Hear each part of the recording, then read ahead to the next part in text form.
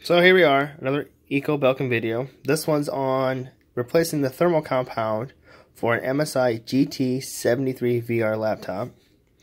I've replaced it once already with Arctic Silver 5. It's okay.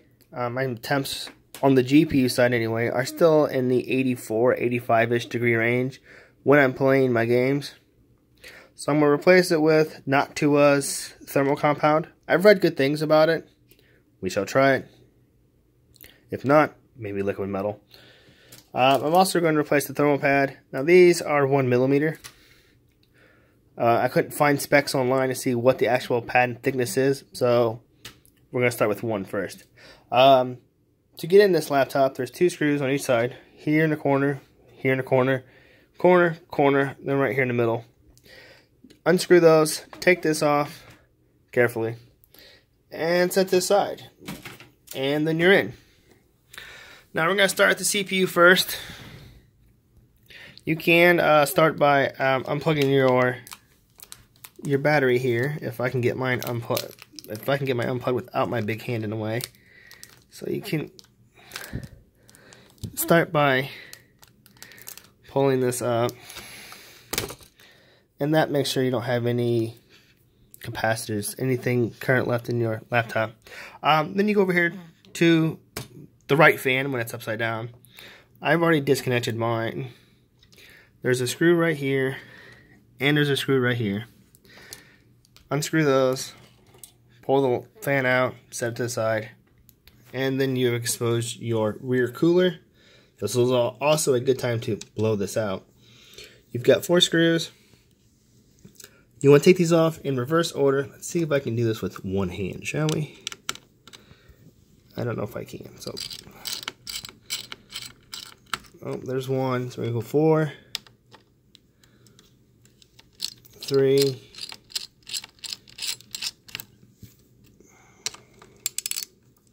two,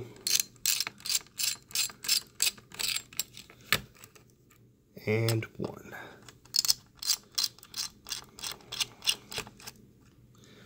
Then it should be loosened, like so. You just wiggle it right on out of there very carefully. And let's see, how's our, if I can pick this up, how does our, dust looks okay. Anyway, so then you can see my original pasting on this. It didn't, it spread pretty good. Looks like I put a little too much on there.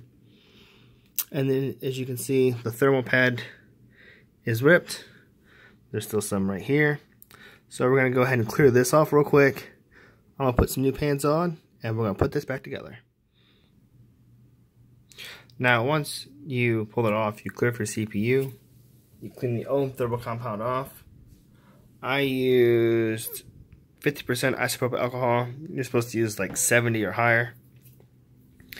I also have my new thermal pad, nice and neatly cut cleaned, cleaned off the CPU as well. Now I'm going to reapply this.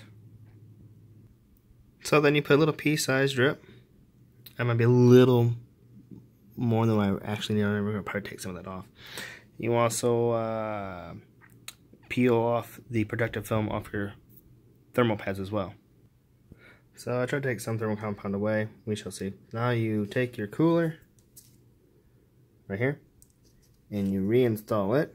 I'm doing this one-handed, so we're gonna have to like kind of work with me here. Get it in there.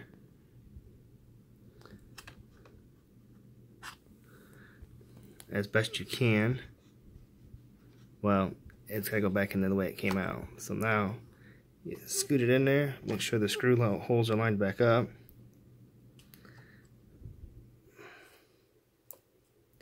You don't want to pull this up as soon as you set this down or you will be uh, redoing your thermal paste. That looks good. Now to reinstall this, you just do these screws in numerical order.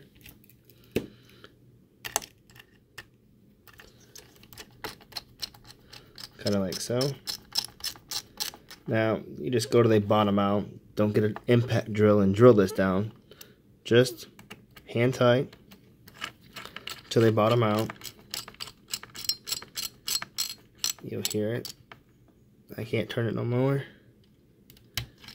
And that's it. There's the third one.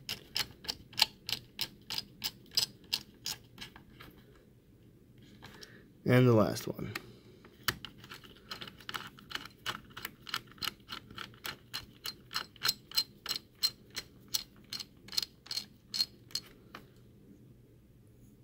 That's all there is to it.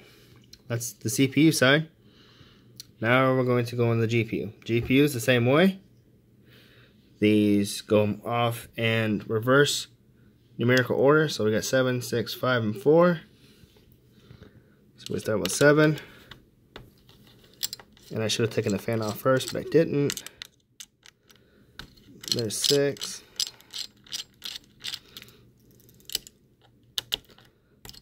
Five, four. Here's our fourth. And before this cooler can come out, we have to uh, take out this fan. So that's going to be easy. There's a screw right here that I've already loosened. My camera's not focusing. So there's a screw right there. I didn't. I already loosened it. And there's one in there as well.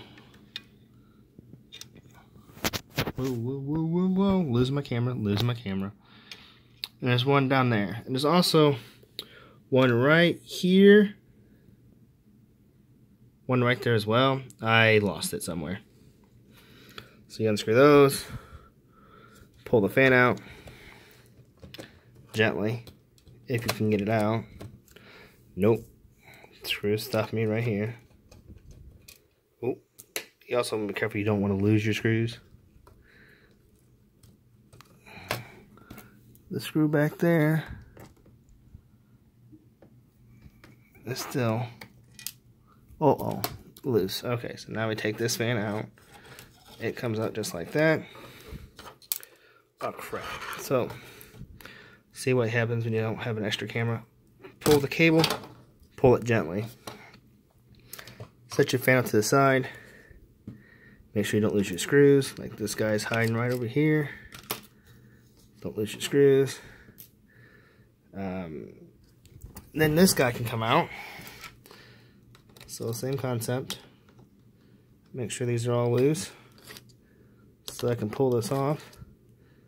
Now these four screws that we're unscrewing right here only apply to these two heat sinks. This heating plate is held on with this screw and that screw. So this, gently grab it and pop it up. And we see that the thermal paste I did wasn't really a bad job. So, I'll be right back with replacing this thermal paste.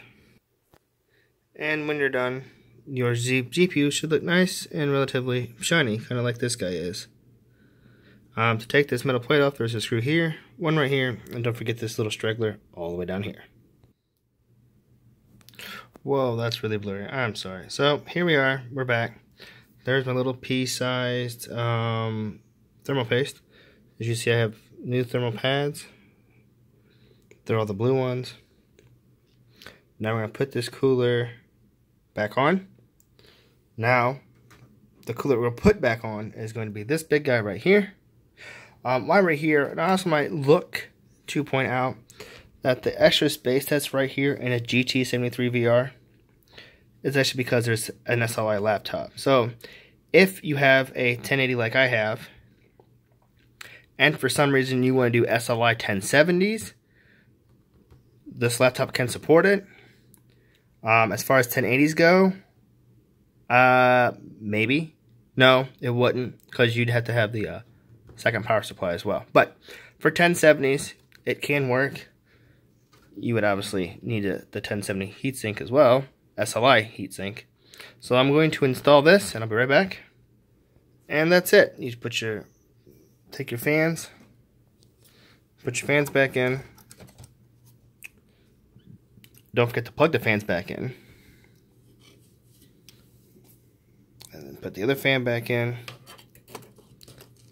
Uh, make sure you screw them down. Put your cover back on, and that's it. I hope this video helped you at least do the thermal paste, or redo the thermal paste, learn to speak. And uh, in the video description, I will actually have an updated um, what my time my temperatures were before and what they are after I done this. I hope this helps. Any questions? Post them in the comments. Thank you.